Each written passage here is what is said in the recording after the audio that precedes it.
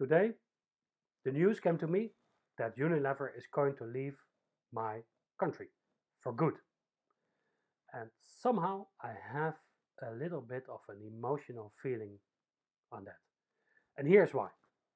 In the 1990s, like 1994, I used to work at the Unilever factory here in Delft at the Wateringse Vest. And there I was mainly busy with packing these kind of things. Borrelnoten, a very typical Dutch product which was already sold from Calvé to Duyvis in the 1990s, I guess 1996 or something. And some other nights I had to clean the mill for the peanut butter. This one. Still Calvé on it, now produced in Poland. And you see that they sold the borrelnoten, they moved their production of peanut butter to Poland and now their head office is also leaving the Netherlands. And it's good to know that one of the reasons that Calvé was so successful with this borrelnoten, that is this.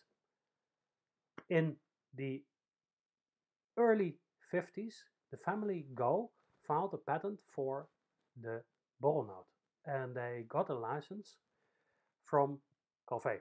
So both the family Go and Calvé got quite rich by producing this borrelnoten.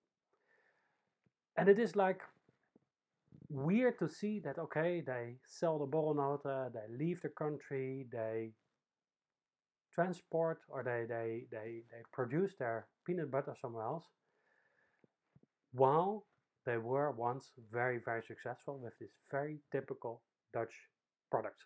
But hey, it's their decision, it is their thing. So, uh, what can we do? But it's good to know that their original success was based on some very good inventions and some patents that went along. So if you want to know more about patents, just follow me. You can follow me by uh, becoming a member of this channel. That would be nice. You can click. And if you want to know something or you have any remarks, please put a comment down below. I'll see you in the next video.